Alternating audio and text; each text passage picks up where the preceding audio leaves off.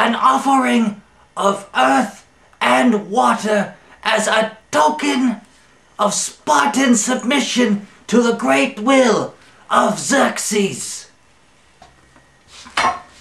Submission. That's a bit of a problem. If there's a problem, I hope things don't get violent. I hate death. Especially my own.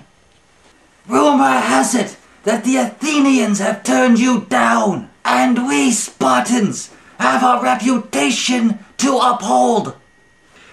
Choose your next words carefully, Leonidas. They may very well be your last words as king. Earth and water. Interesting.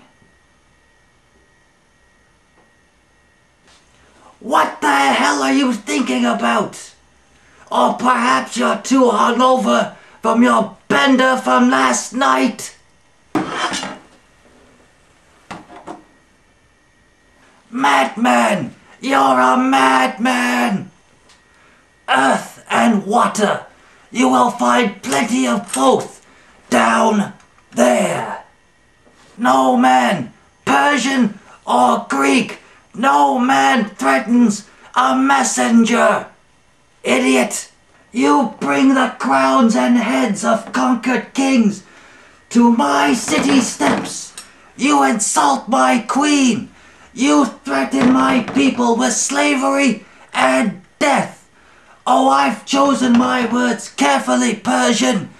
Perhaps you should have done the same. This is blasphemy. This is madness. Madness. This is Cobra. What? I mean, this is Sparta. Much better. So well delivered. I enjoyed it. Well, thanks. I appreciate your kind words. Stab, bitch. Thank you for stabbing me and kicking me down this hole.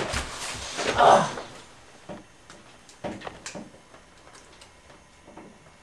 Who honestly builds a well with sharpened sticks at the end? This is going to be tremendously painful when I hit bottom.